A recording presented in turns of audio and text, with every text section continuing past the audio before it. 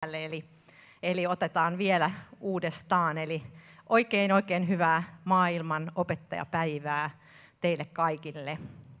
Tänään julkistetaan tässä lähetyksessä aivan hetken kuluttua OAJin kuntavaalitavoitteet.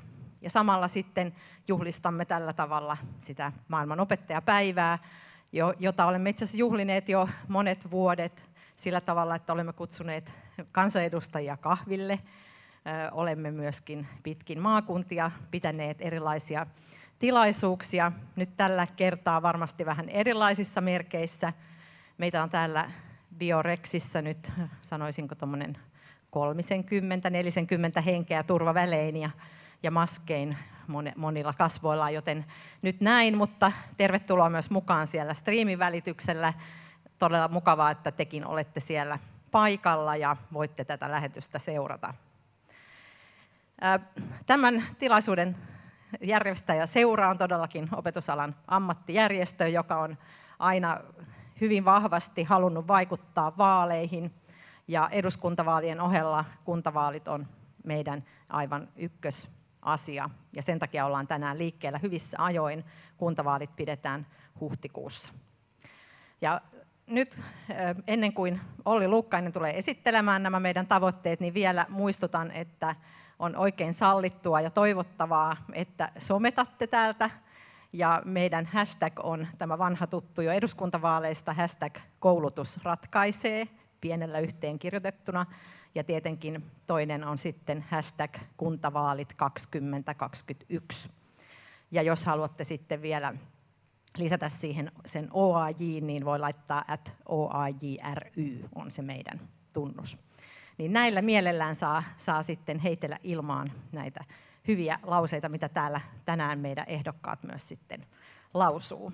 Eli tänään nyt kuulemme kohta nämä meidän kuntavaalitavoitteet ja sen jälkeen sitten olemme kutsuneet tänne nyt pääkaupunkiseudun kolmesta suuresta kunnasta ehdokkaita keskustelemaan näistä meidän tavoitteista ja, ja mennään sitten Helsinki, Espoo, Vantaa järjestyksessä näihin keskusteluihin. Tilaisuus kestää kaikkinensa noin puolitoista tuntia. Eli tervetuloa kaikille ja nyt Olli Luukkainen, ole hyvä.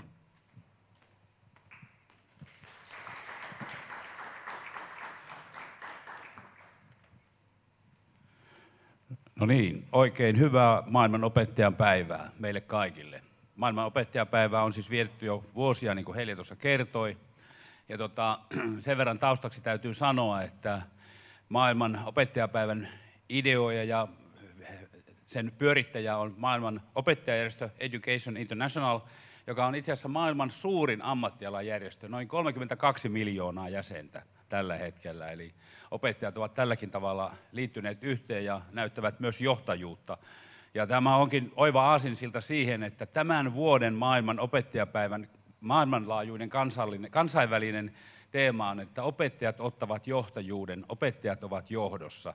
Tiedämme, että kun yhteiskuntaa rakennetaan, kun demokratiaa rakennetaan, tehdään hyviä asioita, tehdään tulevaisuutta, niin opetus- ja kasvatushenkilöllä on erittäin suuri rooli siinä ja tämä kansainvälinen teema hyvin kuvaa nyt sitä, sitä, sitä opettajien roolia yhteiskunnassa. OAI haluaa tietenkin opettajien opetus-, kasvatus-, tutkimusalan edunvalvojana ja keskeisenä toimijana olla, olla mukana tulevaisuuden rakentamisessa ja olemme nyt sitten nimenomaan tänään päätyneet siihen, että tänään maailman opettajapäivänä on oikea hetki esitellä meidän eh, kevääseen 2021 liittyvät kuntavaalitavoitteemme. Ja pääviesti on siis tietenkin se, että isot asiat päätetään lähellä sinua. Vaikka valtiovalta ihan oikein ja niin pitää ollakin, rahoittaa kuntia ja kuntien toimintoja niin, ja siinä osana sitten koulutus- ja kasvatus, kasvatusasioita, niin ne rahojen kohdentamista koskevat päätökset tehdään siellä kuntatasolla. Siellä tehdään ne arvovalinnat, joilla niitä rahoja ja resursseja kohdennetaan, ja siellä tehdään kaikki keskeiset kansalaista lähellä olevat päätökset, vaikka resurssointi ja rahoitus tulee monia kanavia. Eli isot asiat päätetään lähellä sinua, ja tällä teemalla me pyrimme myös, kun kuljetaan kohti noita eduskunta, anteeksi, kuntavaaleja, niin aktivoimaan myös kaikkia äänestämään. Me ollaan koottu meidän teesimme viiteen kokonaisuuteen. Ja nyt sitten en sisälue näitä suoraan tuolla myös takaosassa, niin esitteet painotuotteina näistä kuntavaalitavoitteista ja luonnollisesti löytyvät myös tuolta sähköistä ympäristöstä, mutta pääteemat tässä käy lävitse ja ni- niihin liittyen lyhyitä nostoja. Ja meidän, vaikka se on vähän tuossa tuonnempana tarkemmin, niin meidän iso teema on tässä, tässä kuntavaalikehikossa nyt sen, että kunnan keskeinen kilpailutekijä on hyvin hoidetut kasvatus- ja varhaiskasvatus- ja koulutuspalvelut laajasti ymmärrettynä. Mutta se, että niitä palveluita järjestetään, ei vielä takaa laatua, vaan tarvitaan osaava henkilöstö. Ja ensimmäinen teema, teesimme onkin kuntavaaleihin, että osaava ja hyvinvoiva opetushenkilöstö turvaa palveluiden laadun. Ja tämä laadukkuus on sellainen kysymys, joka tulee nousemaan Suomessa vahvasti esille. Tarkoituksellisesti nostan tässä esille tuon edessä olevan koulutuspoliittisen selonteon, jonka yhteydessä näitä kysymyksiä tullaan myös tarkastelemaan ja sitä, kuinka jokainen kunta tai koulutuksen järjestäjä, varhaiskasvatuksen järjestäjä oikeasti pystyy takaamaan laadukkaat palvelut. Ja tässä on kuntapäättäjillä keskeinen rooli. Hyvä työnantajakuva auttaa siihen, että saadaan motivoitunutta, kiinnostunutta, innostunutta henkilöstöä myös tälle meidän ja nimenomaan tälle meidän keskeisesti tärkeälle toimialallamme ja, ja heidän hyvinvointinsa, heidän osaamisensa panostaminen, heidän hyvä johtamisensa, niin ovat keskeisenä tekijänä, vetovoimatekijänä myös tähän laatuun.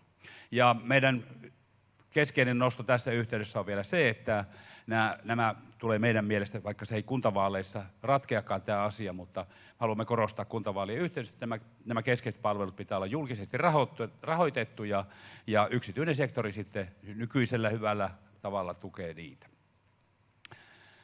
Koulutuksesta puhutaan usein ja sitä arvioidaan usein tuossa julkisessa keskustelussa ihan ikään kuin se olisi menoerä, ikään kuin se olisi välttämätön paha ja rasite. Näinhän asia ei ole.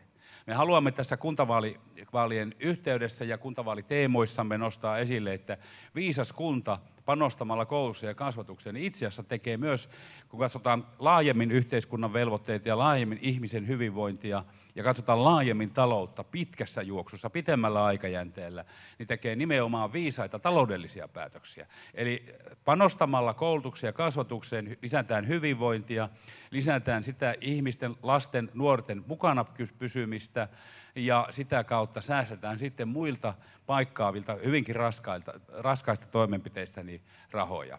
Eli, eli tota, tämä panostus koulutukseen ei ole menoerä, vaan se on tuloerä kunnalle. Käännän sen tarkoituksesti näin päin.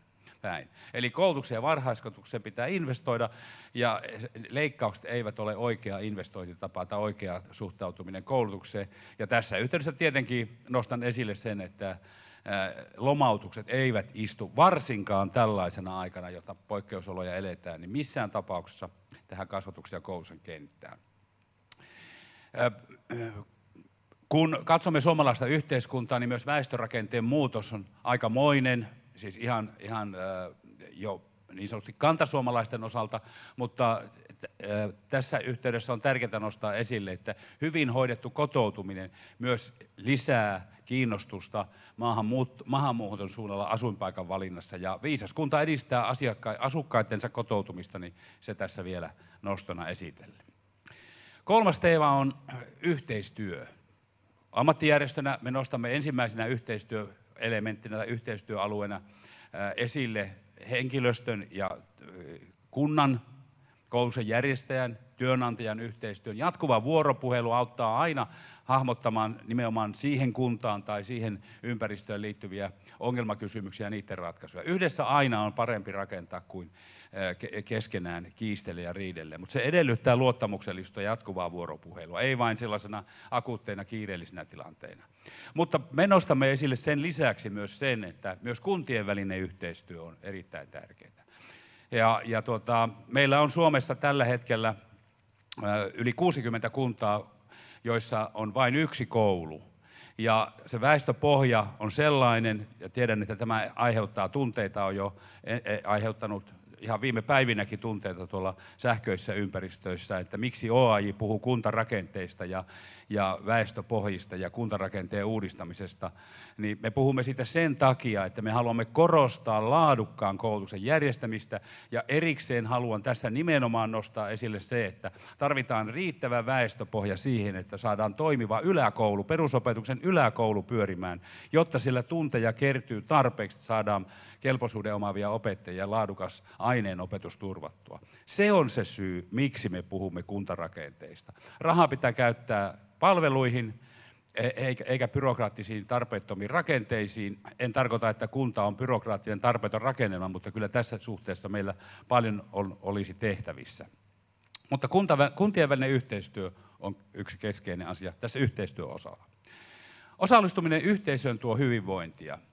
Ja, ja osaltaan koulutuksen ja kasvatuksen hyvä toiminta ja toteuttamistapa, niin, niin sen lisäksi, että tätä yhteistoiminta ja yhteistyötä ja osallistamista, osallisuuttahan, siihenhän kasvatetaan päiväkodeissa ja koulutusjärjestelmässä, kouluissa, kaikissa muodoissaan.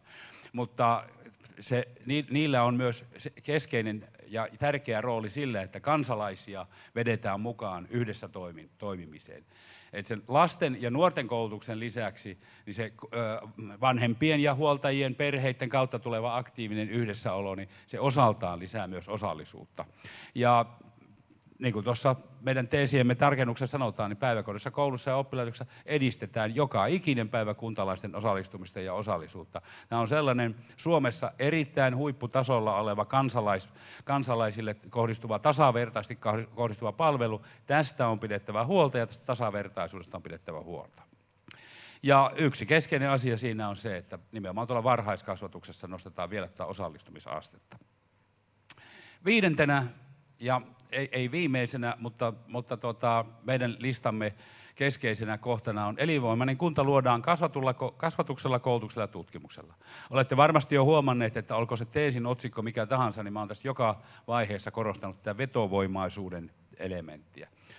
Sekä väkirikkailla alueilla että niillä alueilla, jossa muuttoliike ja syntyvyyden lasku vähentää nuorten ikä, ikäluokkien kokoa ja nuorten ihmisten määrää, niin kaikissa näissä molemmissakin ympäristöissä tilanne on se, että yhä enemmän nuoret perheet kysyvät, selvittävät varhaiskasvatus- ja koulutuspalveluiden laatua.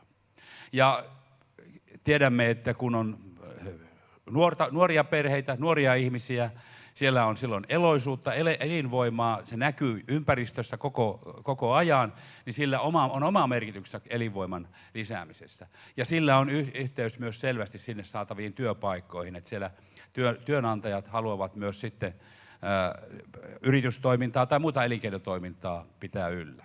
Ja tässä yhteydessä sitten vielä tähän niin oman osuuteni ja tämän esittelyn loppuun, niin mä haluan nyt tehdä vielä niin kuin niin noston siitä, että mä olen itsekin puhunut paljon varhaiskasvatuksesta, perusopetuksesta. Lukiokoulutuksella on erittäin keskeinen merkitys sen saavutettavuudella ja saatavuudella koko Suomessa. Ammatillisella koulutuksella erittäin suuri merkitys. Ja, ja to, tässä on hyvä todetakin se, että eihän sellaista pientä tai suurta kuntaa ole, etteikö siellä ole joku kauppa, ettei siellä ole joku äh, huoltoasema, autokorjaamo, ettei siellä tarvittaisi putkimiestä, sähkömiestä, kirvesmiestä niin edelleen. Eli ammatillisen koulutuksen saatavuudella myös on keskeinen merkitys.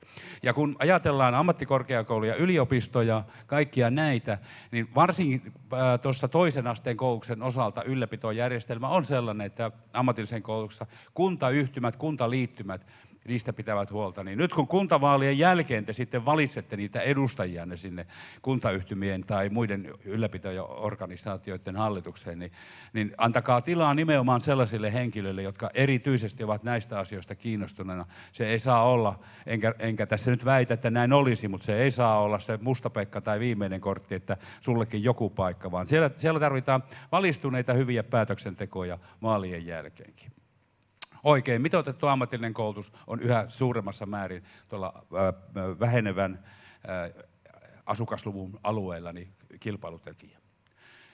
Me teemme myös vaalikoneen, se julkaistaan ensi vuoden alussa ja siihen me pyrimme saamaan 70 tai meidän itse asettama tulostavoite, että 70 prosenttia edu, edu, ehdokkaista tulisivat vaalikoneeseen mukaan. Me olemme, meillä on semmoinen tuntu nyt, että nyt täällä on kysyntää.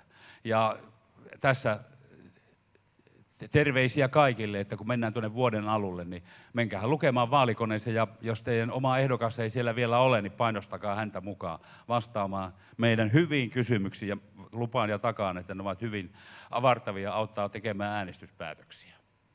Isot asiat siis päätetään lähellä ja eh, nyt on sen takia tärkeää, että kun näitä vaalitilaisuuksia eri puolilla Suomea tullaan järjestämään, niin meidän väki, meidän toimialan väki, koulutus- ja kasvatustutkimusalan henkilöstö, niin menee sinne paikan päälle esittämään kysymyksiä, esittämään, esittämään tota, omia toiveitaan, näkemyksiä. Ja vielä on hyvää aikaa paljon siihen, että menee myös itse ehdolle. Tässä olivat OAIin kuntavaalitavoitteet ja toivon, että nämä leviävät varsin laajasti ja pitkään nyt ennen vaaleja niin joka suunnalla. Tervetuloa myös osaltani tähän tilaisuuteen.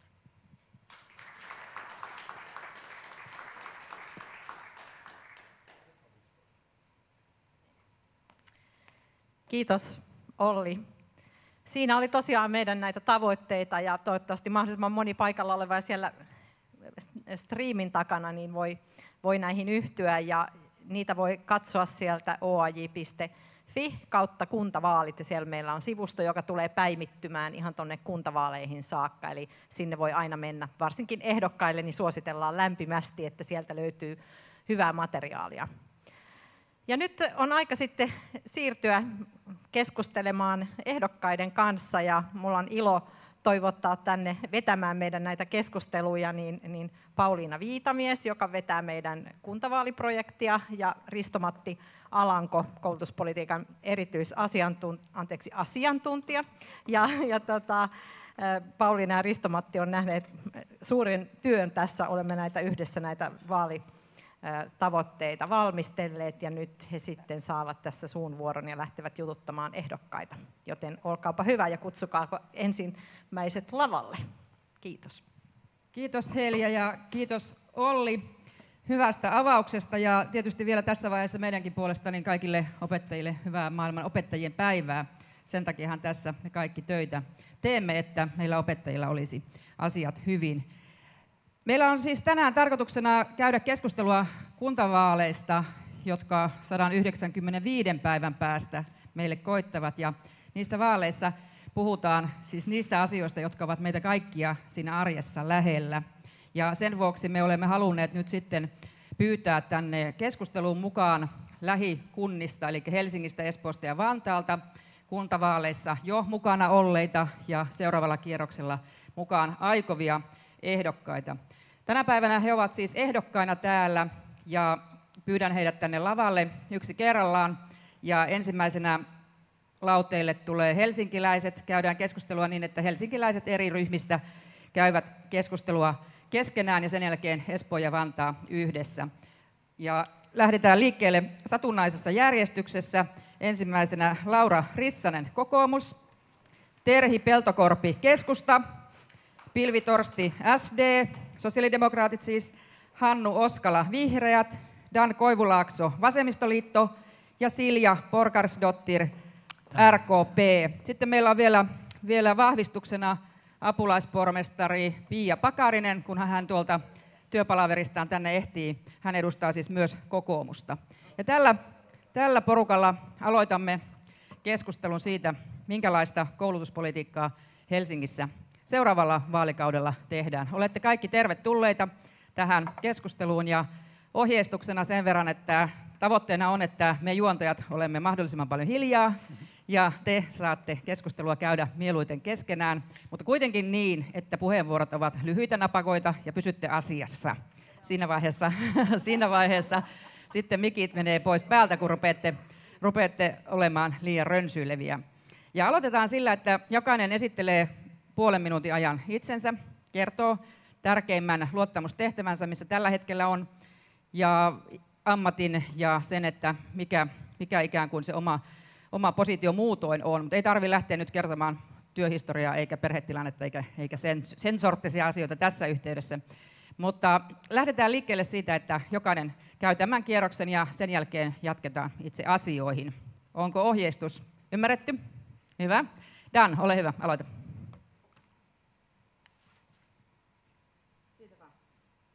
No niin, tervehdys kuuluu.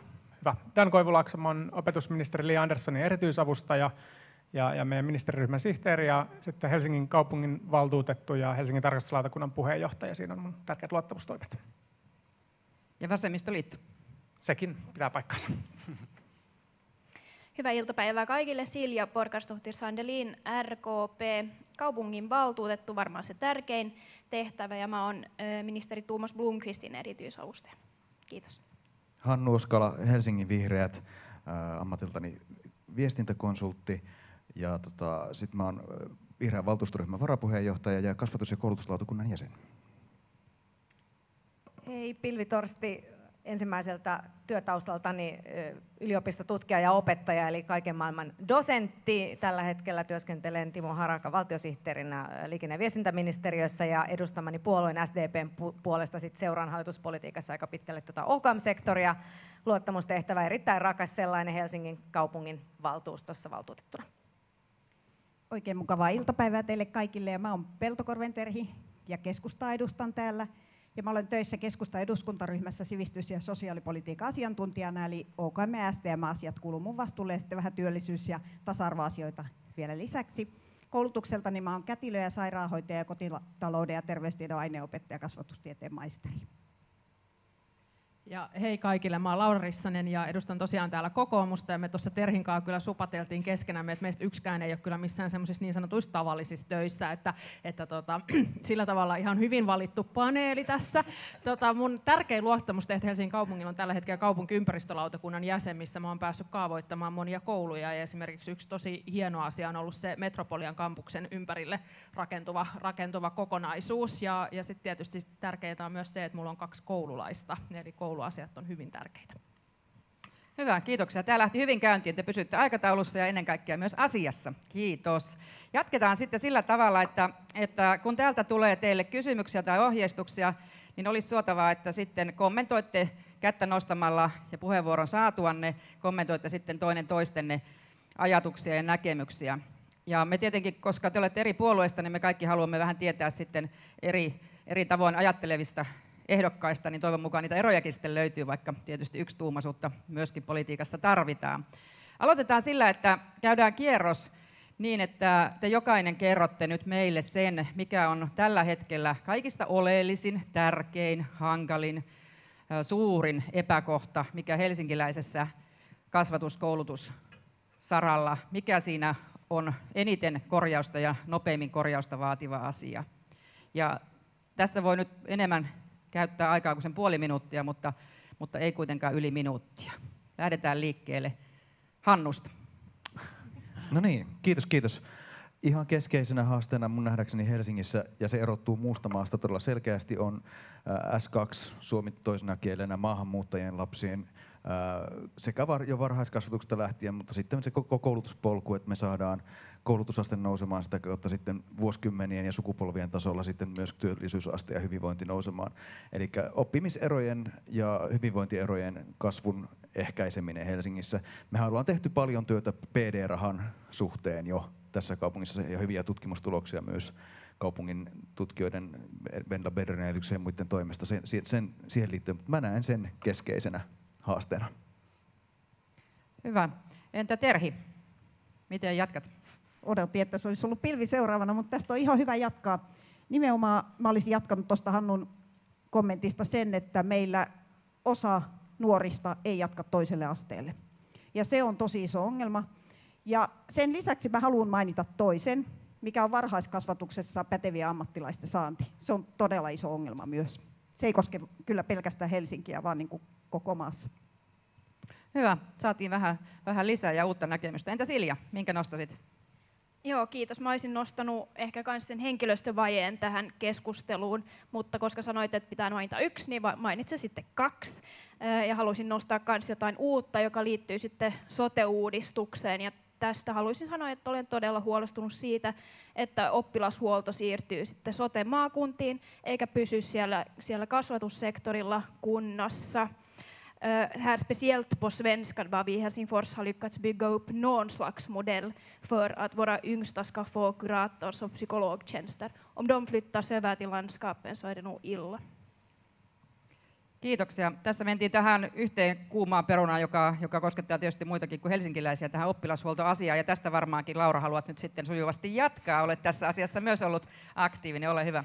Joo, kiitos kaikille. Mähän tietysti unohdin sanoa tuossa, että missä mä oon töissä, eli mä oon töissä sivistystyönantajissa, siellä, siellä päivätöissä, mutta, mutta tuota, tässä on tullut tosi hyvät, on tullut todella hyvät jo huolenaiheet, mutta kyllä mä sanoisin, että meillä tällä hetkellä on akuutin se, että miten me saadaan ensi vuoden talousarviossa turvattua meidän opetuksen rahat, että Helsinkihän antaa aika aika, äh, meillä on tehty hyvää työtä opetuksen puolella. Meillä tota, esimerkiksi tarjotaan enemmän kuin se minimiopetusta äh, perus, perusopetuksessa. Ja kun me katsotaan tätä kuntatalouden painetta, niin kyllä mä sanoisin, että se on ehkä se akuutein just tällä hetkellä.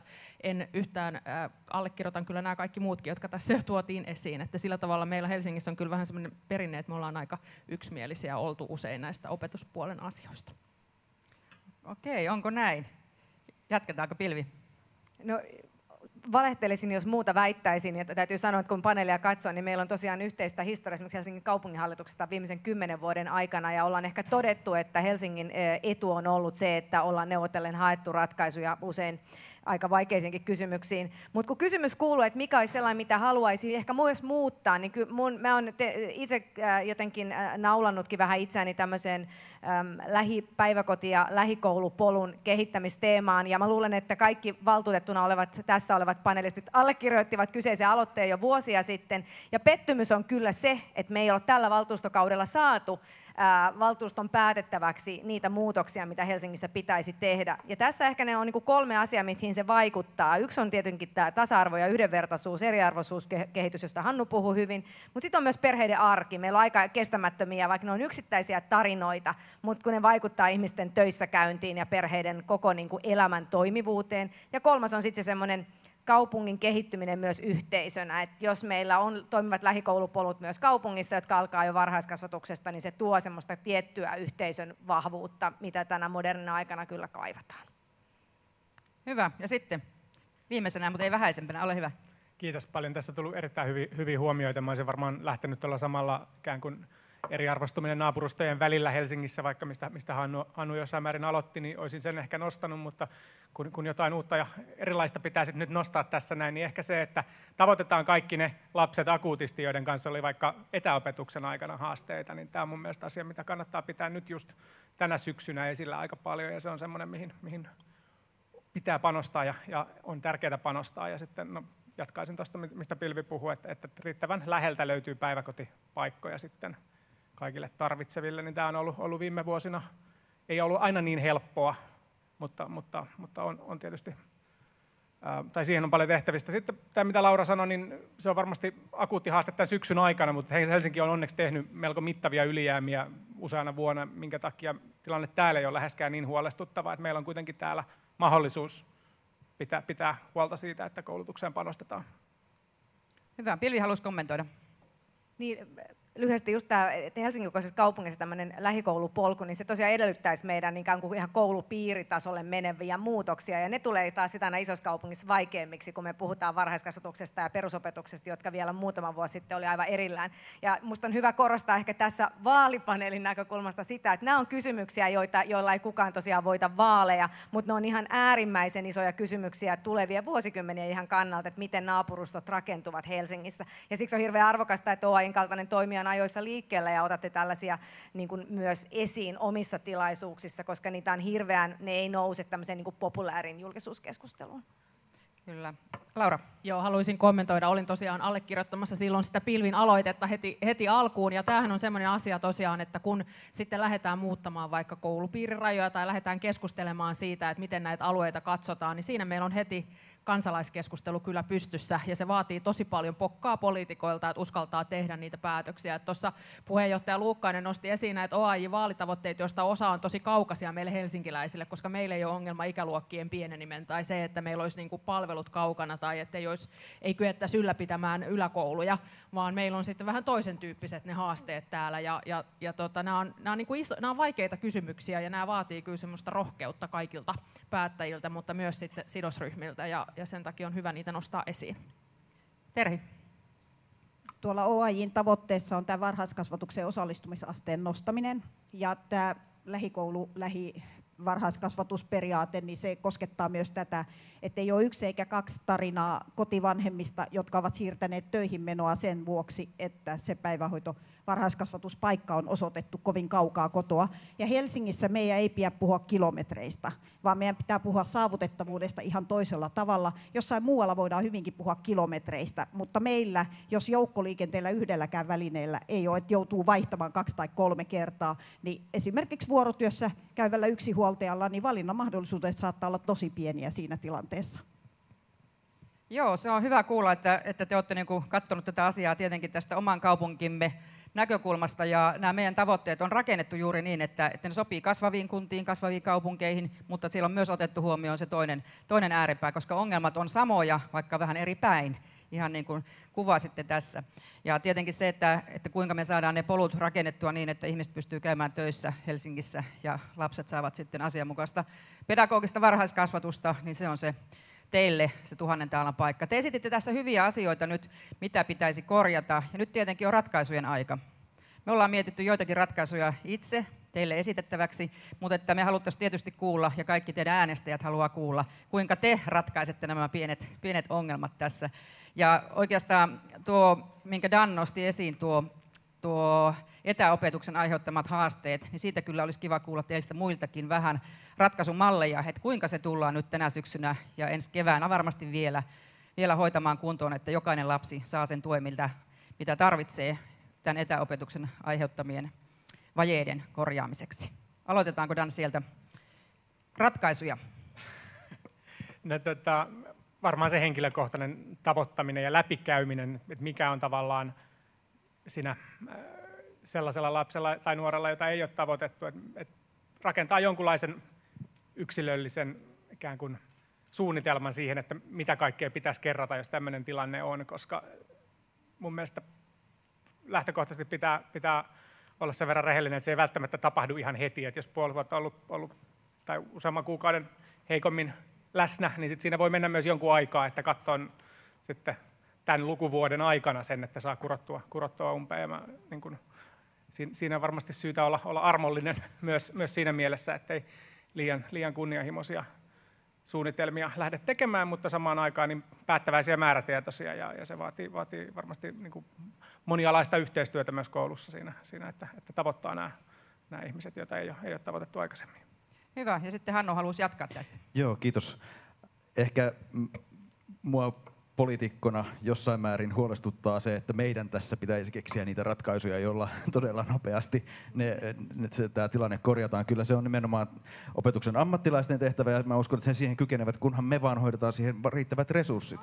Ja sitten mä toisaalta käännän pikkasen tätä sun ajatusta vähän toiseen suuntaan, että vaikka tämä toki tänä vuonna on aiheuttanut ongelmia ja haasteita varmasti, ja se voi näkyä opetustuloksessa vielä vuosien ajan se viime, viime kevään dippi, niin kyllä etäopetus sitten toisaalta pitemmällä tähtäimellä antaa meille ihan valtavia mahdollisuuksia. Niin Helsingissä voidaan esimerkiksi varmasti kaupungin sisällä esimerkiksi laajentaa kielivalikoimaa koulusta toiseen. Ja samalla tavalla kuin Olli, joka selaa tuossa Twitteriä selvästi tällä hetkellä, ää, niin tota, mainitsi jo, että esimerkiksi pienemmissä kunnissa miten siellä voidaan ylipäätään sitä opetusvalikoimaa tarjota, niin tässäkin esimerkiksi maanlaajuisesti, kuten OAI toteaa, että menestyvä kunta tekee yhteistyötä, niin sillä tavalla varmasti voidaan sitten etäopetusta käyttää jatkossa ihan uusilla tavoilla, ja nyt kun se on kerta kaikkiaan opittu ja siihen on olemassa kaikki infrastruktuuri.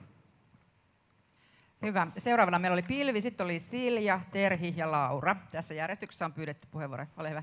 Joo, tämä on täm, ehkä nyt sitten tämmöinen tavallaan koronakierros, niin nostaisin sitten kaksi kuitenkin sellaista, jotka on musta niin ollut, mitkä pitää muistaa sanoa, jotka on tavallaan myönteisiä asioita, että ehkä tämä ensimmäinen meni tähän opettajien, opettajien päiväänkin. Et me ollaan yritetty tuolla digiloikka-analyysissä löytää vahvistus sille, että onko niin, että Suomi on ainoa maa, joka suoriutui menettämättä yhtään koulupäivää. Tämänhetkisen tietojen mukaan on, jos jollain on parempaa tietoa, kertokaa minulle, niin kohta uskallan ruveta sanomaan, että näin todella oli.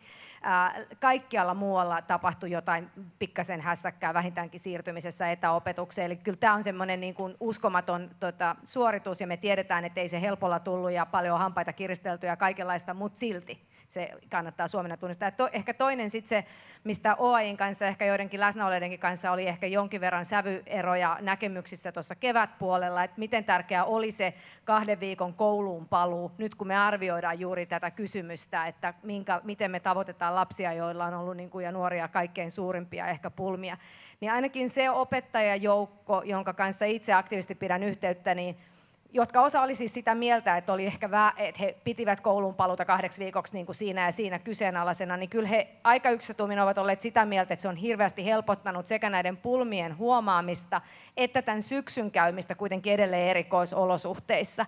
Ja taas tässäkin aika paljon tulee eri maista palautetta, että monet maat on ollut kuitenkin puoli vuotta koulut täysin niin kuin fyysisinä paikkoina pois yhteisön käytöstä. Ja se on valtavan pitkä aika. Että, että tämä, muuten tässä tuli hyviä kollegoilta ja mä olen samaa mieltä Hannun kanssa, että päättäjien pitää uskoa tutkijoita ja arjen asiantuntijoita molempia. Ei aina ihan pelkästään vaan toisia sekä että. Ja tämä eriarvoisuustutkimus tänä vuonna on aivan keskeisessä roolissa, että me tehdään oikeita ratkaisuja tulevina vuosina. Silja, ole hyvä. Joo, kiitos sanoisin ehkä näin, tässä on ollut, tullut hyviä kommentteja siitä, että mitä pitäisi nyt tehdä, mutta meidän pitää myös pitkällä tähtäimellä katsoa, miten, miten tämä on vaikuttanut niihin nuoriin, jotka on ollut etäkoulutuksessa, joilla on ehkä ollut vaikeuksia tässä. Meillä on, tässä oli tämä yksilöllinen suunnitelma, josta Dan puhui.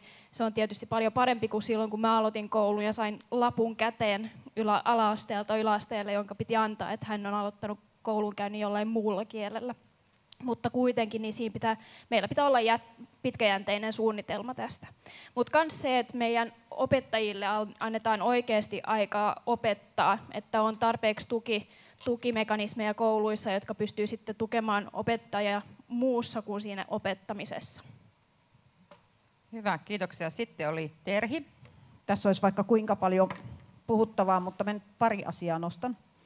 Ensinnäkin Hannu otti tuossa tuon resurssit. Se on juuri näin, että resursseistahan ihan hirvittävän paljon on kiinni, että minkälaiset resurssit me kyetään takaamaan. Ja nyt jos ajatellaan niin tuota viime kevättä, me ei voi olla, olla varmoja, että joudutaanko me jossakin vaiheessa toistamaan sitä jossain määrin. Ja sen takia nyt on hirveän tärkeää, että sekä kunnissa että valtakunnallisesti opetusministeriössä ja opetushallituksessa niin mietitään näitä kysymyksiä, eikä niin, että niitä mietitään hallinnossa yksin, vaan että koko kenttä pitää olla mukana siinä työssä.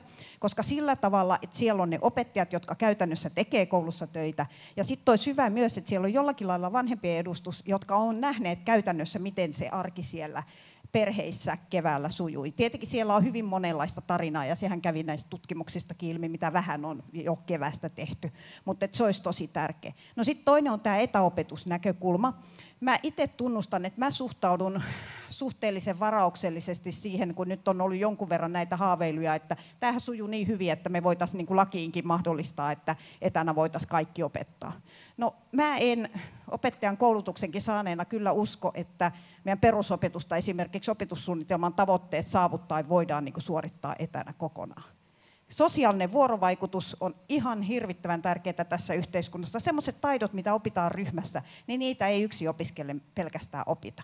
Ja meillä on oppiaineita, joissa se itsekseen kotona tekeminen ei täytä kyllä opetussuunnitelman tavoitteita. Niin sen takia mun mielestä niin tässä pitää olla myös varovainen näissä puheissa tähän on pakko sanoa, niin kuin Laura sanoo mitään, niin kyllä huomaa, että Terhi on myöskin toiminut kansanedustajana, ja koska osaat heti, heti ymmärtää sen, että meidän perusopetuslaki vaatii sitten sen muutoksen kyllä, jos me halutaan siihen etäopetukseen mennä vähän suuremmassa mittakaavassa. Mutta että sitä ei Hannu varmaan tarkoittanutkaan, että, että, se, että se menee niin kuin isommalti, mutta että se on varmasti hyvä apuväline siinä vaiheessa, kun se on, se on hyödyllinen otettavaksi Mutta käyttöön. kuten sanoinkin, mm. että jotkut tahot ovat kyllä, julkisuudessa kyllä, tätä Ja sitten Laura, ole hyvä. Niin, kyllä se on esimerkiksi, äh, jatkan tästä, että tosiaan ei varmaan niin kuin tässä Hannukaan esittänyt, eikä se, e, enkä minäkään esitä sitä, mutta että mä esitän kyllä sitä, että me mietittäisiin, miten me voitaisiin paremmin hyödyntää. Mä tiedän tapauksia esimerkiksi, kun meillä on, Hannu puhui näistä S2-lapsista, he, heillä on kaikilla myös oikeus siihen oman äidinkielen opetukseen. Ja siinä mä tiedän, että se jää hirveän helposti, että jos pitää sitten vaikka perjantai-iltapäivänä lähteä jonnekin toiselle koululle sitä lakisää lakisääteistä oman äidinkielen opetusta varten, niin nämä tämän tyyppiset kannattaisi mun mielestä miettiä niihin uudet opetustavat. Ja, koska silloin se saataisiin, niin kuin, mä ymmärrän tosi hyvin, että perjantai-iltapäivänä ei, ei ketään enää siinä vaiheessa kiinnosta sit se, että ai niin, nyt mulla olisi vielä tämä oman äidinkielen opetus, että se helposti jää ja tiedän tapauksia, että se on helposti jäänyt. Mutta tähän koronaan vielä, niin mä olen samaa mieltä kuin Pilvi, että se oli tosi tärkeää, että me saatiin silloin keväällä se, se jakso siihen ja, ja mä jotenkin itse ajattelisin, että tässä olisi tosi tärkeää nyt katsoa aikaa, että me ei voida ajatella, että nyt tässä syksyllä, kun kouluissa tiedetään, että siellä eletään vähän semmoista epävarmuuden aikaa. Meillä on Helsingissäkin ollut näitä altistumistilanteita, onneksi ei kuitenkaan pahemmin jatkotartuntoja, että sekin on, musta mediaa lukee, niin hyvä huomata, että altistuminen ei ole sama asia kuin tartunta, mutta että on ollut näitä niin kuin jaksoja, että on jouduttu käyttämään sitten poikkeuksellisia opetusjärjestelyitä. Että kyllä meidän pitäisi niin kuin miettiä sitä, että miten ne resurssit sit ensi vuoden aikana, mitä sieltä tulee. Ja kuten Terhi sanoi, että tässä voidaan tosiaan joutua tähän samaan tilanteeseen vielä uudestaan. Et Helsinki on aika hyvä siinä, että me haetaan kyllä aina kaikkia näitä valtion avustuksia ja myös saadaankin niitä. Mutta et nythän esimerkiksi oli niin, että perusopetuksen osalta niin Norssit ei ollut hakukelpoisia, mikä oli niin kuin aivan niin kuin älytön, älytön juttu. Sen sijaan sitten taas lukiokoulutuksen osalta oli, koska opetushallitus jakoi sen korona poikkeusavustuksen lukijoille. Että tavallaan tämän tyyppisiä ei saisi sais tulla, että tämä sinne, on kyllä sinne ministeri Anderssonin esikuntaan monta kertaa tästä jo viestitty, mutta että, koska toivon, että eh, tai pahaa pelkään, että me joudumme ehkä tämän tyyppisiä avustuksia vielä ensi vuonna ja vuonna sitten tähän käyttämään, niin, niin sitten olisi hyvä, että ne tulisi ihan kaikille kouluille. Nyt kun katsoo tätä porukkaa, niin kuin Laurakin tuossa aluksi totesi, niin te olette kyllä niin vaikutusvaltaisissa töissä jokainen, että on se ihme, jos ei nämä asiat nyt oikein tässä, tällä, tällä porukalla kyllä sitten joko keittiön kautta tai muuten, muuten, muuten töiden puolesta.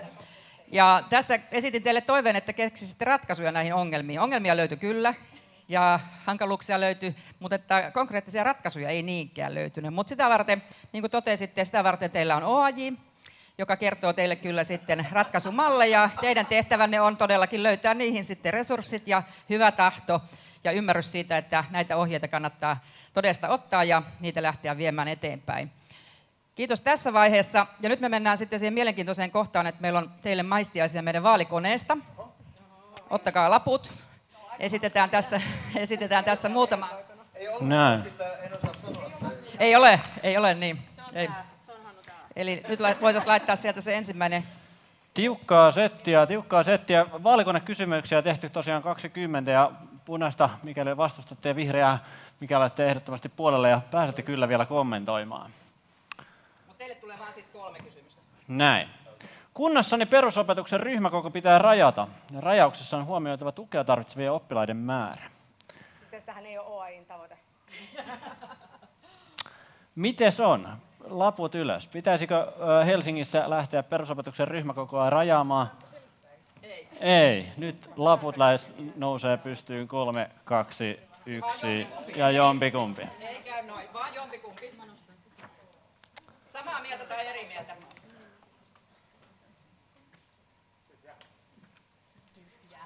Näin, okei. Okay. Vaikea kysymys, vaikea kysymys. Lähdetäänkö liikkeelle vaikka pilvitorstista? Minkä takia nousi punainen lappu? Kyllä, nopeat selitykset se ehditään ottaa. Joo, kun lähdettiin nyt sitten tälle ikään kuin linjalle, että otetaan ensimmäinen vaalipaneeli eikä äänestetä tyhjää, niin, niin tota, en, kyllä tässä kohtaa, ää, en ole SDP-ehdokas, nimittäin meillä on äänest, jäsenäänestys e, ehdokkaista, eli en ole edes ehdokkaan positiossa, niin en katso, että tässä kohtaa voisin kyllä tällä tavalla ikään kuin rajata ja paaluttaa meidän tavoitteet. Tässä käytiin jo läpi tätä budjettineuvotteluja ja niin edelleen niin kuin tilannetta, ja kun Helsingin koulut on keskenään niin äärimmäisen erilaisia, niin me tämmöinen niin kuin mekanistinen ää, ratkaisu ratkaisu ei niin kuin Helsingille nähdäkseni ole optimaalisin tapa ollenkaan miettiä meidän eriarvoisuuskysymyksiä ja, ja tota, erityistä tukea esimerkiksi tarvitsevia lapsia. Nopea kommentti Täsmä, Hannolle. Ja täsmälleen tässä kysymyksessä itsessään on tavallaan kaksi puolta, josta toinen on nimenomaan tämä mekanistinen joku raja, ja toinen on sitten taas tämä eri, erityistä tukea tarvitsevien määrä. Ja sit, tot, totta kai sitä erityistä tukea tarvitsevien määrää kannattaa käyttää jonkinnäköisenä kertoimena esimerkiksi ryhmäkokojen suhteen. Mutta sitten tosiaan tämmöinen absoluuttistinen raja tällä tavalla, saavutetaanko sillä tavalla toisaalta parhaita tuloksia sinne kouluihinkaan? Näin, Laura. Niin näin just meillä on Helsingissä käytetty menestyksekkäästi, jopa tutkittuen menestyksekkäästi tätä PD-rahaa, ja musta se on ollut niin kuin hyvä keino siinä, ja, ja totta kai pitää huolehtia siitä, että on resurssit, mutta että kun meillä sitten meillähän on siis ihan isoissakin kouluissa toisaalta sitten myös yhdistelmäluokkia ja muuta, että tämä on, tota, nämä on niin kuin, niin kuin hyvin tiedätte, että nämä ei ole yksinkertaisia kysymyksiä, vaikka te olette ne yksinkertaistaneet. Totta kai, niin vaaleissa aina pitää tehdä. Dan, saat vielä kommentoida ja mennään seuraavaan no, kysymykseen siis, sen jälkeen.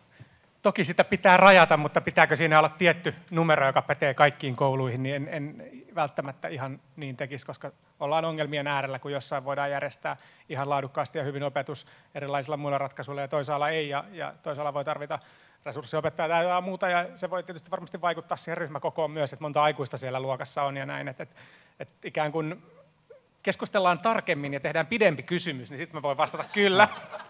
OAJ-malli lähtee liikkeelle siitä, että niistä opettajista, jotka paikalla on suhteessa niiden antamasta opetuksesta, suhteessa siihen oppilasmäärään ja niiden saamaan opetukseen, löytyy sieltä meidän tota, esittäjästä myöskin. Tästä lähdetään liikkeelle. Mutta seuraava kysymystä. Tämä on ollut tota, tapetilla monesti, monesti tässäkin kunnassa. Varhaiskasvatuspalveluiden tuottaminen ei ole vain kunnan tehtävä, vaan yksityiselle päiväkodille tulisi antaa nykyistä suurempi rooli. Mitä mieltä olette? No niin, nyt me saadaan jo vähän hajontaa tänne. Silja saa aloittaa sieltä. Siinä vaiheessa, kun kunta ei pysty tuottamaan niitä palveluja täysmääräisesti niin paljon kuin tarvitaan, niin siinä vaiheessa me tarvitaan myös yksityisiä päiväkotia, jotta me voidaan taata niille nuorille niitä, tar- niitä paikkoja ja laadullisia paikkoja. Sitten siinä pitää tietysti olla tiettyjä kriteerejä, jotka pitää täyttää ennen kuin meillä meil on, ennen kuin annetaan lupa sille yksityiselle päiväkodille. Laura jatkaa sen jälkeen Pilvi. Niin kiitos. Tämä on, tämä on niin kuin tavallaan tässäkin on just tämä nykyistä suurempi rooli. Helsingissä itse asiassa on aika pieni verrattuna muihin suuriin kaupunkeihin ja sen takia tähän on helppo vastata mun mielestä vielä tässä vaiheessa vihreällä, että, että sit pitää katsoa, että mihin se sitten siitä nousee. Terhi oli anteeksi välissä ennen pilviä. Mä olen sitä mieltä, että sekä yksityistä että julkista tarvitaan ja olen sitä mieltä, että molemmat voivat toimia, mutta en mä koe, että automaattisesti niin se olisi joku etu, että yksityisellä olisi nykyistä suurempi rooli, mutta monesti yksityinen saattaa olla kyllä joustavampi kuin julkinen toimija. Varsinkin jos niin kuin yhtäkkiä tarvitaan pieniä yksiköitä jollekin alueelle, niin ne monesti yksityinen perustaa nopeammin kuin julkinen, mutta että näytin kuitenkin punaista. Joo, ja pilvi. Joo, tässä meillä on niin kuin valtakunnallinen tilanne nyt todella erilainen eri kaupungeissa ja kunnissa. Ja mun niin kuin punaisen takana on hyvin voimakkaasti se, että meillä on tapahtunut joissain kunnissa oikeasti tämä niin kuin varhaiskasvatusvastuun siirtyminen ja hajaantuminen ikään kuin pois sieltä kunnalta ja se ei ole sitten enää kellään. Ei ole yksityisen toimijan tehtäväkään ottaa sitä vastuuta kunnalta, vaan olla siinä kokonaisuudessa toimijana mukana. Ja sen takia me tarvitaan tässä tavallaan sellainen niin kuin linja, joka tavalla tai toisella, mun mielestä ne OAJ mietitään, että jostain prosentteista on ihan mahdollisia tässä esimerkiksi ajatella, että tietty osuus täytyy säilyä omana, jotta se niin kuin tietty kuva siitä, mikä se varhaiskasvatuskokonaisuus on. Ja sitten siellä on täydentävänä yksityistä ja kolmas sektori. Minusta on vähän, vähän hassua myöskin, että tässä on pelkästään otettu yksityiset päiväkodit eikä kolmatta sektoria tässä väitteessä. Että kun kehitätte tätä vaalikonetta, niin tätä voi ehkä siihen suuntaan myös kehittää. Hyvä, kiitoksia. Dan. No joo, mun mielestä on erittäin hyvä, että ei lähdetä Helsingissä vaikka palveluseteleitä laajentamaan ja muuta. Että siinähän niin kuin sekä, sekä siirretään sitten voiton tavoitteluun verorahoja, mutta toisekseen siinä kunta sitten edelleen kantaa sen riskin sen järjestämisestä, kun nämä kaatuu nämä yksityiset, niin kuin on nähty kuitenkin joissain paikoin. Että siinä on ikään kuin kaksinkertainen haaste sitten, että, että, että ei, ei, ei jatkoon. Selvä. Sitten mennään vielä kolmanteen kysymykseen täältä näin myöskin ajankohtaisia kysymyksiä Helsingille. Kunnan tulee tarjota omille kuntalaisille riittävästi paikkoja lukiokoulutukseen.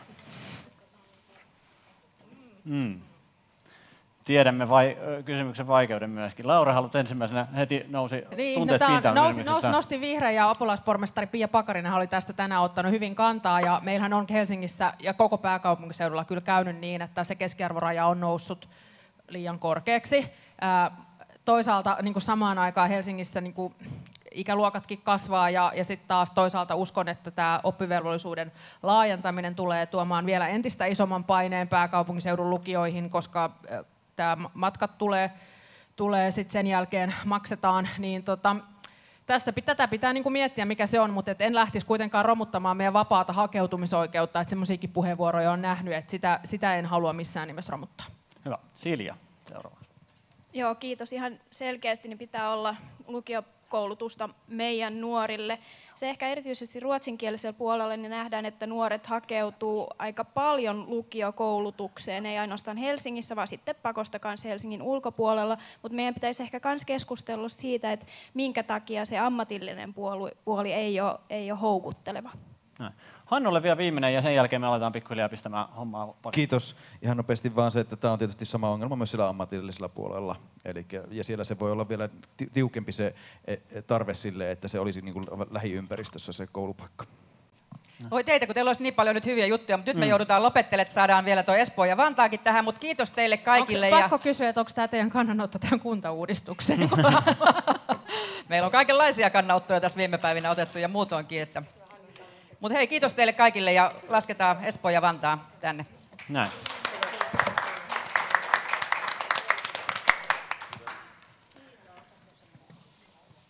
Kiitos. Seuraavana meillä olisi tulossa sitten, otetaan Espoota ja Vantaata paikalle.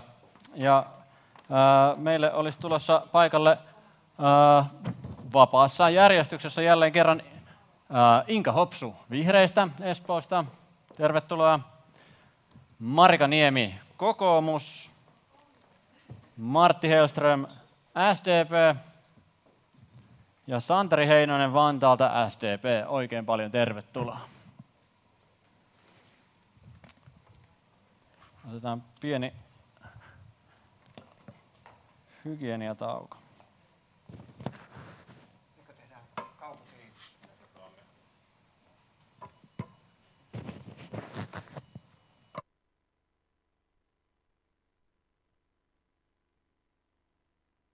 Tässä. Kauniaisille, ja niin kuin huomaatte varmasti, että myöskään kaikki puolueethan ei ole, ei ole tällä kertaa edustettuna. Kaikilla on kyllä tasapuolisesti lähetetty kutsut, myös kaikkiin kaupunkeihin, myös Kauniaisiin lähetetty kutsuja, ää, mutta tota, paikalle pääsette te, mikä on totta kai meitä hyvin paljon, saatte pal- meiltä paljon kiitoksia. Otetaan vielä purkit pois edestä, niin pidetään turvallisuudesta kiinni. Hyvä. Samalla kaavalla lähdetään liikkeelle, miten äskeisesti ensin päästä, päästään äh, noin 30 sekunnin puolen minuutin esittelyihin. Päästä kertoa, ketä olette, mistä tulette ja tärkeimmät luottamustoimet tällä hetkellä. Ja, ja sen jälkeen päästä kertomaan, mitä Espoossa ja Vantalla tällä hetkellä on pinnalla. Mutta aloitetaan sieltä Marikaniemestä. Kuka olet ja mistä tulet? Ja kerro.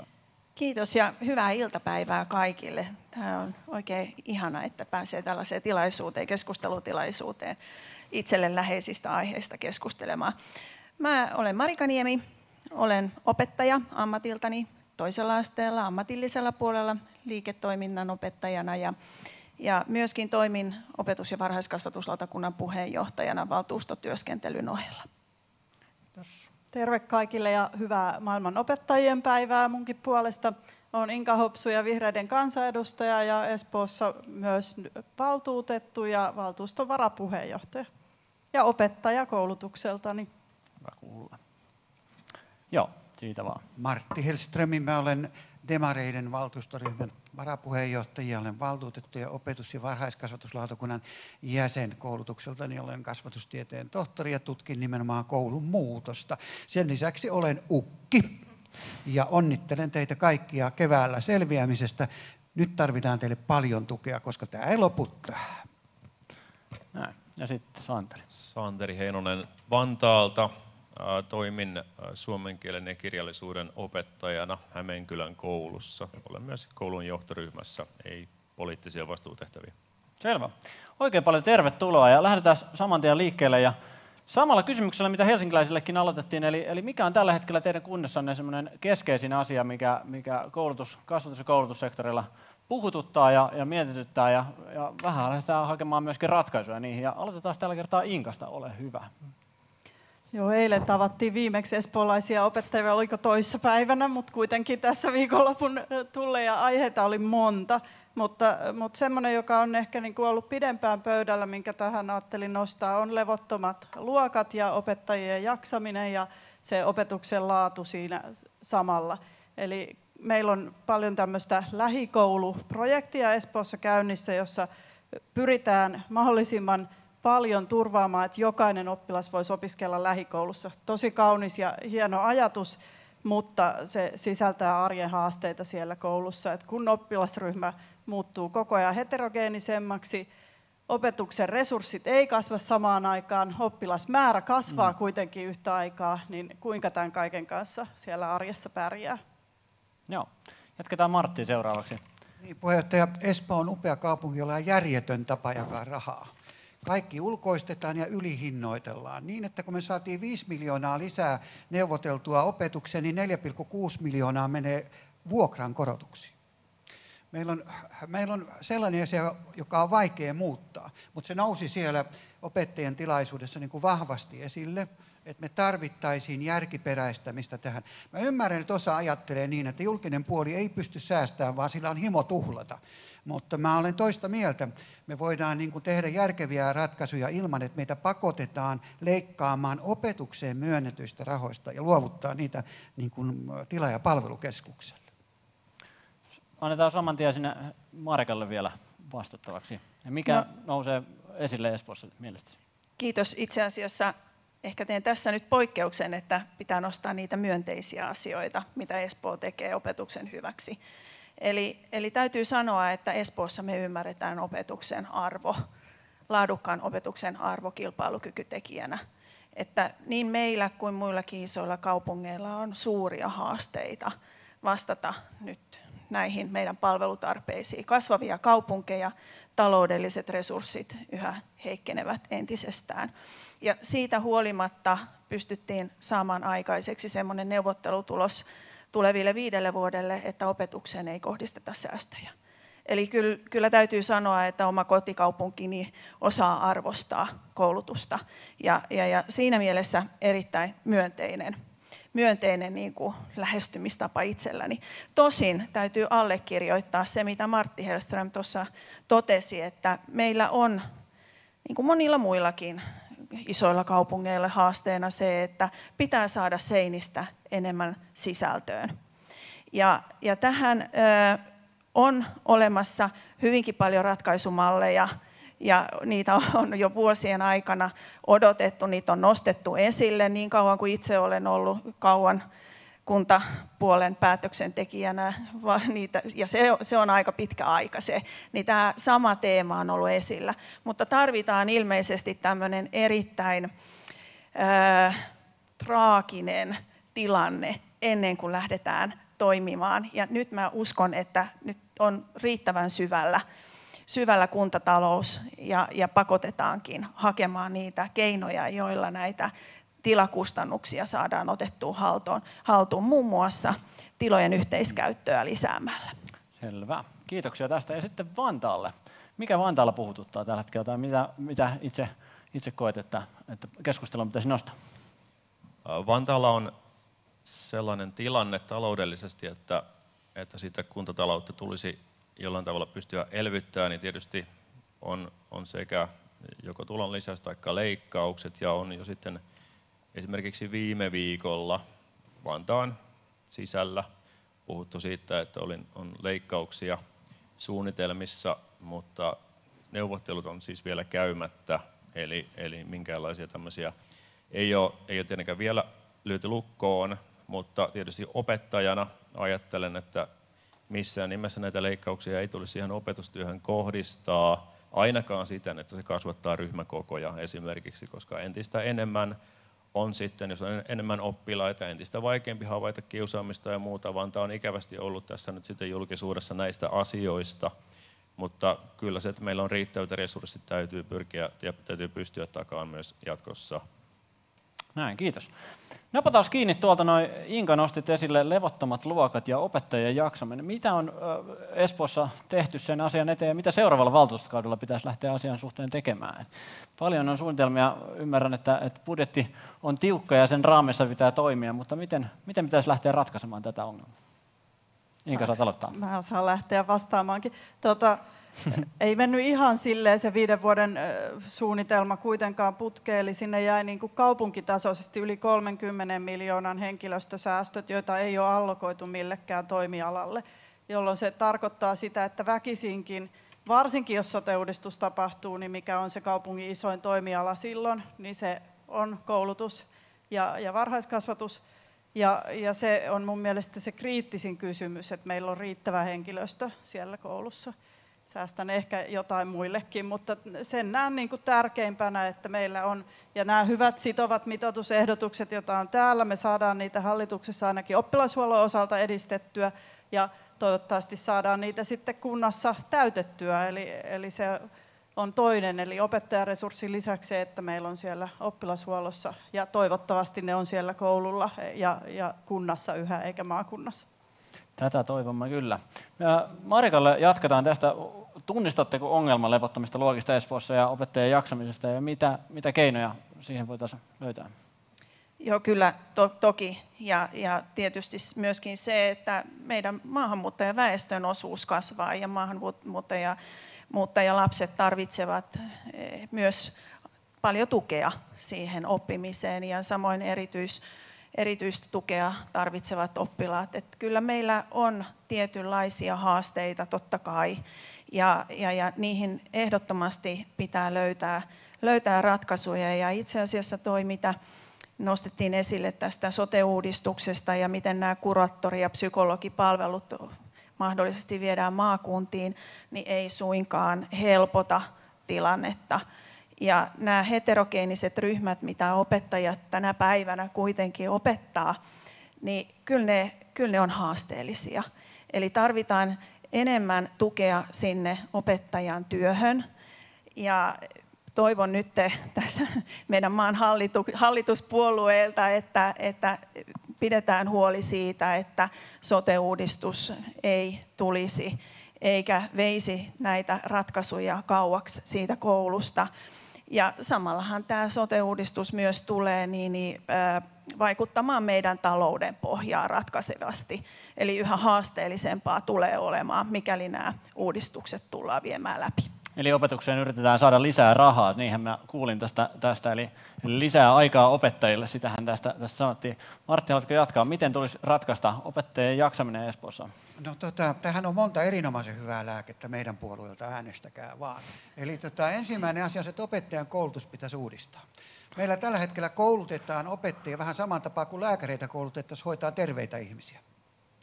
Eli, eli tämä heterogeenisuus tulkitaan meillä vammaksi, kun se on inhimillinen ominaisuus.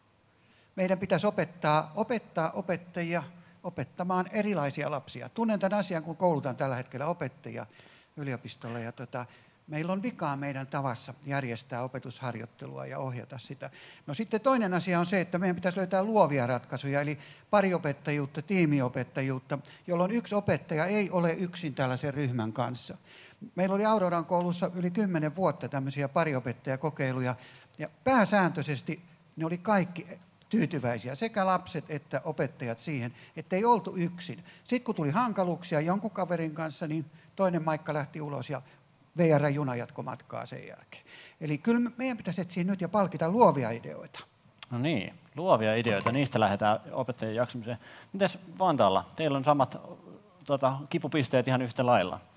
Oli äh, mielenkiintoista, että nostit esiin tämän äh, näitä yhteisopettajuuskokeiluja ja niin poispäin. Eli Hämeenkylän koulu Vantaalla meillähän on tällaisia ryhmiä, että esimerkiksi suomen kielessä ja kirjallisuudessa meillä on kolme luokallista kerralla, että luokassa tai opetusalueella on semmoinen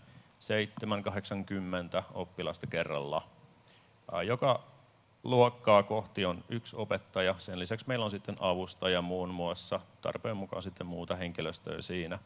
Ja se on kyllä koettu, se on myös tutkittu, muun muassa sitten vähentää sitä sellaista opettajan työssä kokemaa stressiä, koska yksi voi enemmän esimerkiksi keskittyä siihen opettamiseen ja muut sitten hoitaa näitä muita esimerkiksi puuttuvia suorituksia tai muuta vastaavaa, mikä, mikä saattaa tulla. Se, se tuo todella paljon joustavuutta meille. Meillä vastikään valmistuu uusi koulurakennus, otettiin se elokuussa käyttöön. Ja, ja tota, se on mahdollistanut todella uudenlaisia ratkaisuja meidän koulussa. Tässä on jo muutaman vuoden takainen historia meillä, että tätä on kehitetty. Että, tota. Hyvä, joo, saa kommentoida, totta kai. Yhteysopettajuutta tai yhteisopettajuutta kuitenkin myös niin, että jos siellä on paljon erityisen tuen tai tuen tarpeisia oppilaita mukana luokassa, niin sit vaatisi kyllä sitä, että siellä koululla on sellaiset tilat, että sen tarvittaessa voi sitten jakaa sen ryhmän ja, ja saada sen tilanteen rauhoittumaan. Ja valitettavasti, kun koulut meillä ainakin täyttyy ihan hirmusta vauhtia, niin, niin tässä tulee haasteita. Se on totta, se on ehdottomasti totta. Ja tästä mä huomaan, että ratkaisukeinona ollaan, että lisää opetusta. Että siinä vaiheessa, kun alkaa, alkaa tulla tota, levottimia luokkia ja opettajien jaksaminen on koetuksella, niin tiimiopettajia enemmän opettajia paikalla. Me ollaan totta kai ehdottomasti samaa mieltä ja herää mieleen myöskin se, että, että kelpoisten opettajien palkkaaminen on pääkaupunkiseudulla yksi haaste, että pitäisikö, pitäisikö kunnassa alkaa kilpailemaan kelpoisista opettajista? Mitä mieltä olette? Marika saa kommentoida myöskin aikaisempaa. No eiköhän jossain määrin sen tyyppistä kilpailua jo olekin, mutta se mitä, mitä tuota, ehkä tässä olisin nostanut esiin, että näiden ratkaisukeinojen etsimiseksi olisi todella tärkeää, että ne, ne, jotka siellä kentällä tekevät työtä, eli opettajat, otetaan mukaan siihen kehittämistyöhön. Ne ratkaisun avaimet löytyy sieltä asiakasrajapinnasta, ja meidän asiakkaita on nämä lapset ja nuoret. Ja tässä kohtaa niin, niin jotenkin vierastan ajatusta, että meillä usein tehdään uudistuksia hallinto edellä. Ja, ja se kehittämistyö, mitä, mitä koulun arkeen tehdään, niin se, usein ne raamit tulee sieltä ylhäältä alas. Ja toivoisin tässä kohtaa sellaista kulttuurista muutosta, että yhä enemmän opettajat ja koulun henkilökunta, rehtorit otetaan mukaan siihen kehittämistyöhön ihan alkuvaiheessa. Hyvä. Joo, ja tuota, toi oli erinomainen puheenvuoro. Tällä hetkellä opettajan työstä suuri osa on dokumentointi-idiotismia. Kirjoitetaan tuntitolkulla suunnitelmia, mitä tehtäisiin, jos ei tarvitsisi kirjoittaa suunnitelmia. Ja se olisi minusta hirveän tärkeää, että me uskallettaisiin luottaa opettajiin enemmän. Me palautettaisiin jonkinlainen semmoinen laajempi autonomia opettajalle ja kouluille, mikä oli esimerkiksi 90-luvulla ja jopa 80-luvulla.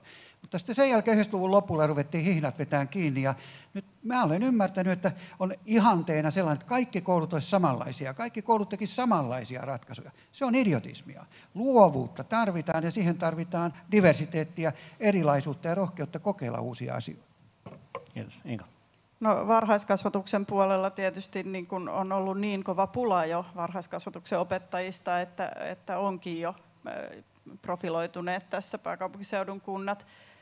Mä luulen, että luokanopettajien suhteen vielä tilanne ei ole ihan sellainen, mutta tämä hyvä johtaminen on kyllä just se ydinkysymys. Ja, ja kyllä koulu tulee siitä tunnetuksi, jos siellä on opettajilla hyvä olla. He saa vaikuttaa siihen omaan työhönsä ja osallistua. Ja, ja se näkyy myös sellaisissa ratkaisuissa, mitä koulu tekee siinä, että, että kuinka vaikka kikytunnit järjestetään tai mitä tahansa tässä nyt vuosien varrella on ollut, niin kyllä, kyllä tämä viesti kuuluu ja kiirii ja, ja siinä kyllä rehtoreiden ja, ja aluepäälliköiden ja muiden johtajakoulutuksellakin voisi olla jotain tehtävissä.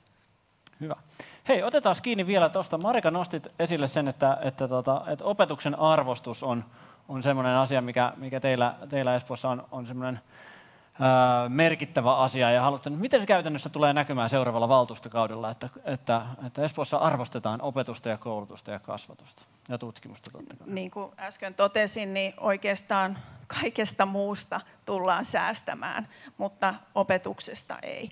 Ja, ja kyllä siinä mielessä se arvo, arvopohja on niin opetuksen, opetuksen arvostusta kunnioittava Espoon osalta. Että täytyy siinä mielessä antaa kiitosta meille kaikille, jotka olemme tietysti olleet mukana sitä, sitä vahvistamassa. Ja ne säästötoimet, mitä esitetään, niin, niin ne tulee olemaan mittavia. Se on ihan selvä, että, että tämä taloudellinen tilanne on nyt siinä pisteessä, että ilman, ilman säästöjä ja leikkauksia ei selvitä. Ja mielestäni vastuullisuutta on myös se, että me emme jätä tuleville sukupolville valtavaa velkataakkaa maksettavaksi. Että kyllä siinä mielessä meidän kaikkien pitää kantaa vastuu. Ja, ja, ja tämä, tämä on yksi osa sitä vastuun kantamista. Me luotetaan siihen, että opetus luo sellaisen pohjan, johon pystyy tämän maan tulevaisuuden rakentamaan. Hyvä.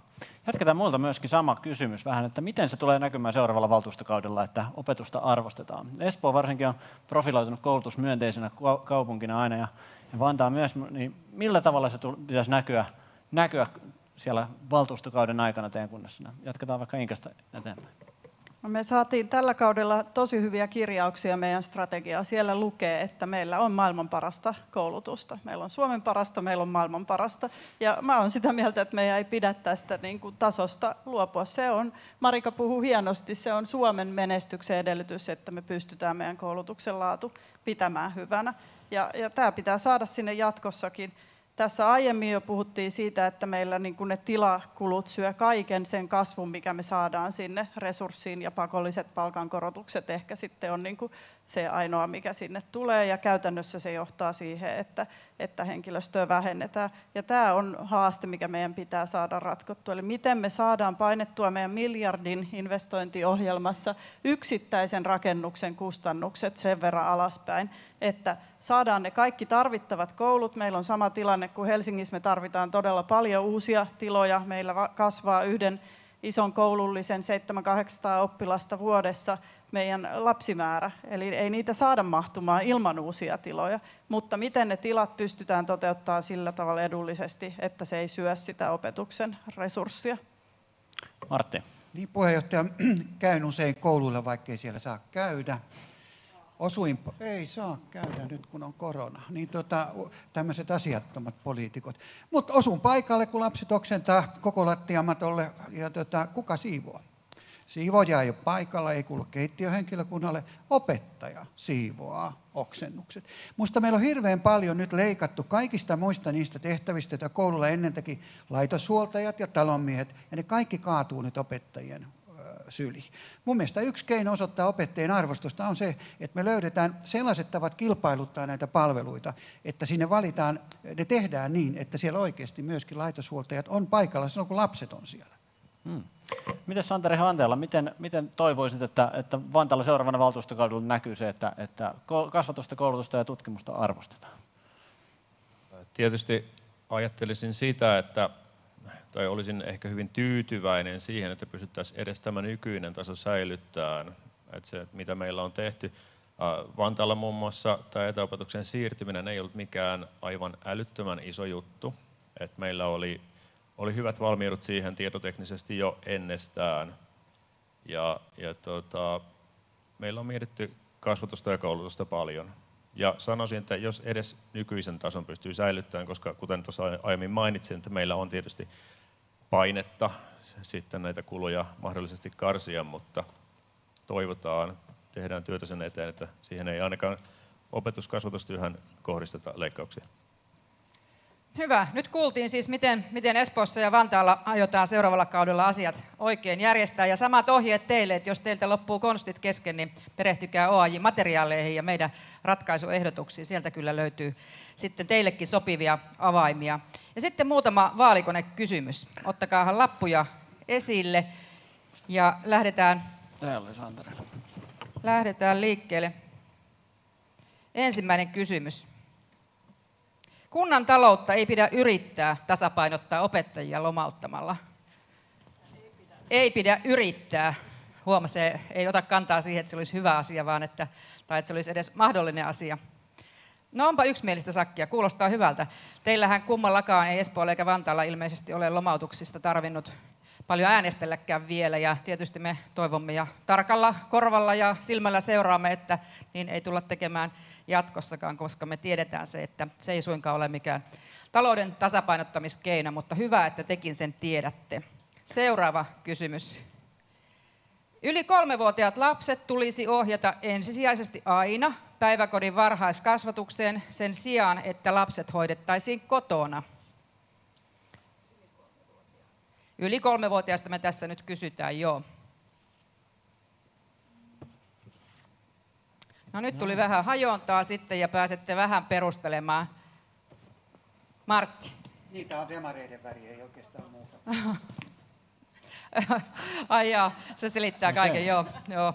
En ota kantaa tuohon. No Marika. No siis itse asiassa mä olen hyvin pitkälti sitä mieltä, että alle kolmivuotiaiden osalta niin, niin pitää olla hyvin paljon vaihtoehtoja, että se kotihoito pitää olla myös yksi keino valikoimissa. Ja, ja, ja tuota, tämä on vähän semmoinen kysymys, että mä jotenkin uskon siihen, että vanhemmat tietää, mikä oman lapsen etu on. Eli lähtökohtaisesti niin pidän hyvänä, että meillä on erilaisia vaihtoehtoja ja sen takia nostin tämän punaisen. Haluatko Inka vielä? No mä voin perustella, että mun mielestä tässä on hyvä tämä, että tämä kolmevuotias rajaus on tässä. Eli kyllä näen, että varhaiskasvatuksesta on hyötyä jokaiselle yli kolmevuotiaalle lapselle. Eli ainakaan me ei pidä jättää semmoisia kannustimia sinne jäljelle, jotka pitää lapsia kotona, vaan ennemminkin kannustaa siihen, että ne lapset tulee sinne varhaiskasvatuksen piiriin. Marika, haluat tähän kommentoida vielä? Jos mä täsmennän vielä, niin meillähän on myös kerhotoimintaa. Ja, ja, ja tämän, tämän takia niin, niin pidän myös hyvänä sitä, että näitä vaihtoehtoja on erilaisia. Miten teillä muuten Espoossa, niin maksetaanko teillä vielä kotihoidon kuntalisää? Maksetaan. Maksetaan Espoolissa. No niin, miten otetaan samalla kantaa nyt siihen, että jatketaanko maksamista ensi kaudella? Se tuli siinä sopimuksessa jo, nämä puolueet tässä löivät sen lukkoon jo seuraavaksi viideksi vuodeksi. Eli maksetaan. Eli vihreät ei ollut mukana tässä sopimuksessa.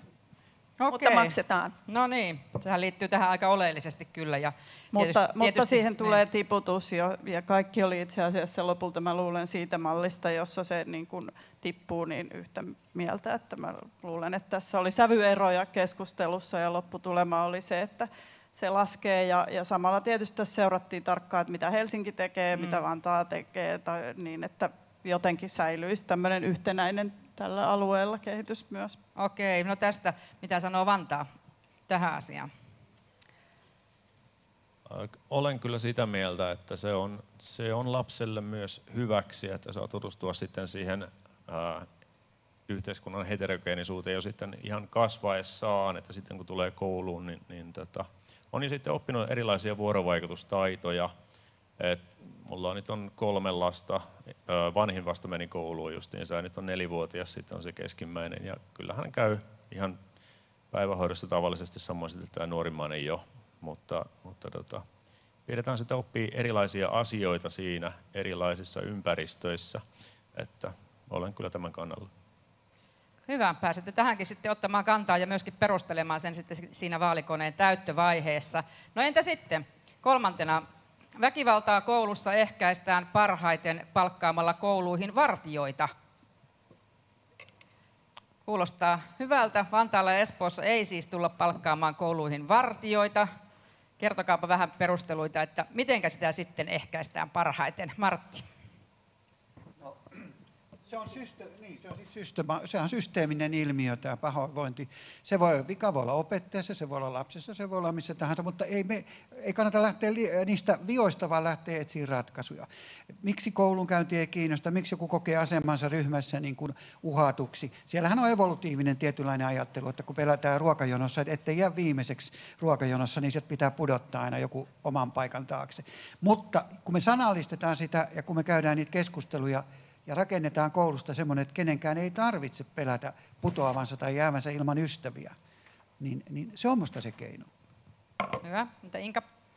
No, meillä on ihan hyviä malleja, esimerkiksi tämä Kivakoulun ajatus, jossa niin kuin se muu yhteisö siinä tukee sitä, että se kiusaaminen, joka mahdollisesti alkaisi, niin loppuu mahdollisimman nopeaan, niin on on sellainen, joka pitäisi saada kaikkiin kouluihin. Ja Martti puhuu mun mielestä ihan hyvin siitä, että mikä se koulun toimintakulttuuri on, miten sitä saadaan vahvistettua. Mutta sitä kynnystä saada apua pitäisi madaltaa, koska mun mielestä tilanne on nyt se, että siellä on yksittäinen oppilas, joka silnittelee sen kiusaamisen kanssa. Hän ei uskalla olla yhteydessä. Sen jälkeen on opettaja, joka sinnittelee, kyllä mä pärjään tämän oman ryhmäni kanssa, kyllä mä selviän. Tai sitten ei ole sitä erityisopettajaa, kuraattoria tueksi sitten on sen jälkeen rehtori, joka sinnittelee. Kyllä mä pärjään tämän oman oppilasainekseni kanssa täällä. Ja kaikkia näitä kynnyksiä madaltamalla päästä starttumaan nopeammin. Ja se voi tarkoittaa sitä, Vantaalla ilmeisesti onkin semmoinen malli, että on siellä virastossa apujoukkoja, joita saa tarvittaessa tueksi. Ja tämä voisi olla yksi ratkaisuehdotus. Oikein hyvä, että te olette, te olette näitä joutuneet miettimään jo ja varmasti joudutaan sitten kunnissa enemmänkin. Oliko sulla vielä Santeri tähän kommenttia? Kyllä, siis koulumaailmassa se sellainen yhteisöllisyyden ajatus, että me olemme tässä yhdessä. Yritän jatkuvasti viestiä oppilaille siitä, että mä oon täällä, me aikuiset ollaan täällä teitä oppilaita varten, että ei ole minkäänlaista kynnystä tulla puhun meille, esittää asiansa.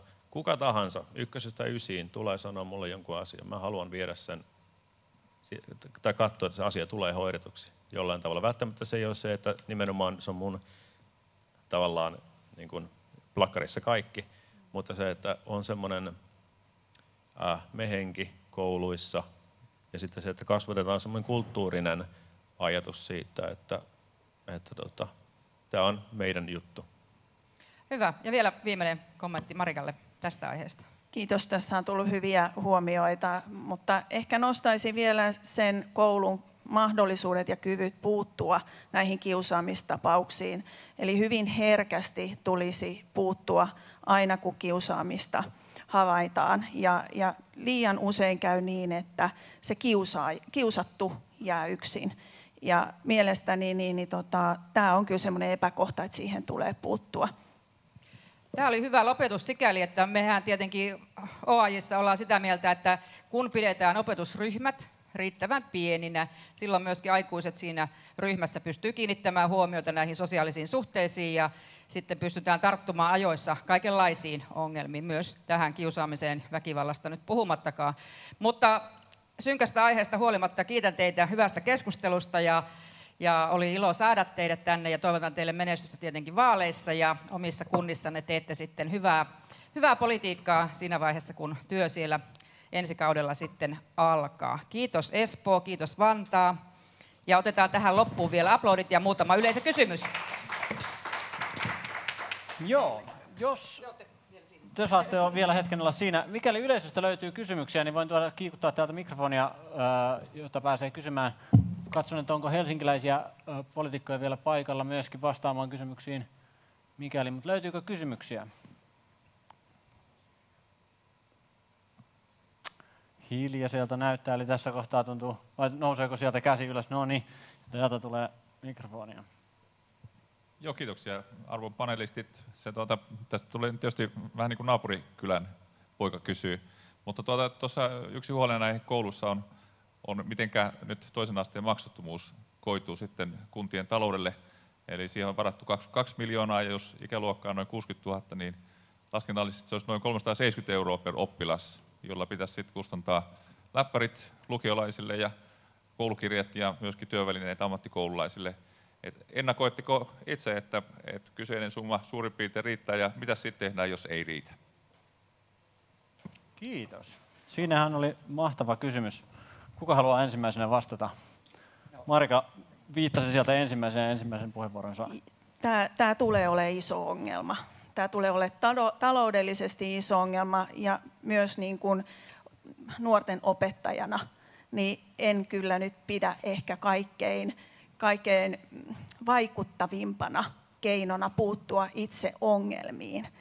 Ja, ja tässä kohtaa niin kun, täytyy sanoa, että toivoisi, että valtakunnan poliitikot nyt kuuntelis sitä kenttää, että minkälaisia erilaisia ongelmia tulee liittymään tähän.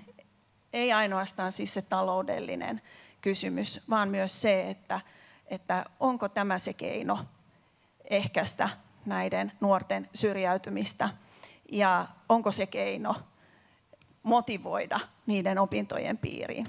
Vahva epäilys on, että ei ole. Martilla oli heti toisena nousi käsi niin, tästä aiheesta. Tiedämme, että HJ ajaa tätä asiaa kaksin käsin, niin innoittavaa sanoa, että on eri mieltä. Mutta mä olen eri mieltä sen takia, että kun puhuttiin siitä, että toisen asteen ammatillisilta oppilaitoksissa keskeyttää opinnot, niin onko kukaan miettinyt, miksi se keskeyttää? Voi olla, että sen takia, että niille opintoedellytyksiä. Toinen syy, että ne ei pääse sille linjalle, mille ne haluaisi.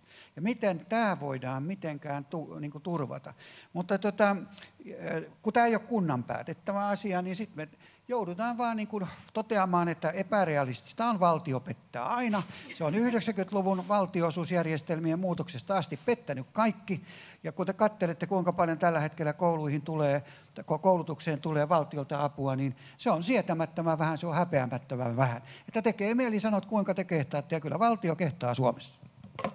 Kiitos ja jatketaan Tässä, Inkalle vielä puheenvuoro tästä mä, mä saan sitten nyt tuota hallituspuolueen kansanedustajana puolustaa meidän kunnianhimoista tavoitetta. Kyllä olisi tuota, demarikaveriltakin voinut vähän komppausta tulla, mutta, mutta mä näen sillä tavalla, että meillä on hallitusohjelmaan kirjattu, että kustannukset katetaan. Ja silloin, jos se on niin, että se ei riitä, niin silloin on se velvoite meidän täytettävä, eli ne sieltä kompensoidaan. Ja tässä oli nyt te, Liin, Liin tota, Erkkari täällä edellisessä paneelissa, hän olisi osannut luvut vielä mua paremmin, mutta ne on lähentynyt. Me saatiin nyt neuvoteltua sinne sisään lisää rahaa niin, että se Kuntaliiton arvio ja se, mitä nyt on siellä allokoitu tähän, niin on jo hyvin lähellä toisiaan. Eli, eli tätä vääntöä tietysti viedään niin, kuin niin pitkälle puolustetaan sitä rahoitusta. Ja samalla saatiin myös niitä ammatillisia opettajia lisättyä, jotka sieltä edellisellä kaudella tipahti. Eli kyllä pyrkimys on se, ja vihreällä on ollut edellytys koko ajan se, että perusopetuksen riittävä rahoitus ja se laatu pitää olla kunnossa ennen kuin tätä oppivelvollisuuden laajentamista tehdään. Ja sitä on tehty nyt tällä hallituskaudella tosi ansiokkaasti, saatu sinne sitä laadun kehittämisohjelmaa ja myös kuntiin rahaa ja, ja koronarahaakin on saatu. että, että kyllä on niin kuin, suunta on ainakin kääntynyt tässä. Hyvä näin, hyvä kuulla. Tota, OAI lähtee omassa koulutus- tai tässä tota, oppivelvollisuusuudistus laajentamisessa nimenomaan liikkeelle, että se on pitkä jatkuma ja siinä päästään nyt tähän opetuksen arvon ymmärtämään, että ymmärretään se aina sieltä varhaiskasvatuksesta koko sen perusopetuksen jälkeen sinne toiselle asteelle. Hyvä, kiitoksia tästä näin.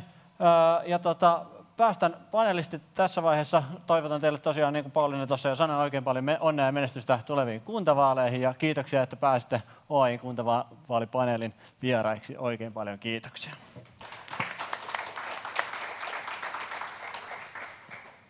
Näin.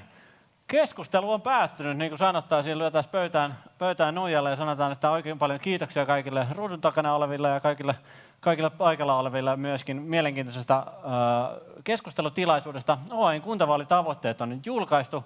Ne löytyy tällä hetkellä oai.fi-sivulta, niitä pääsee sieltä katsomaan. Ja, ja kohti kuntavaaleja 21 tässä edetään.